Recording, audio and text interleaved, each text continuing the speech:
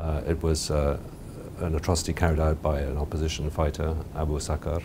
Uh, we condemn it in the strongest possible terms, and we call on the um, Free Syrian Army uh, to do all it can to bring this person to justice uh, and to uh, end impunity for all abuses by the opposition.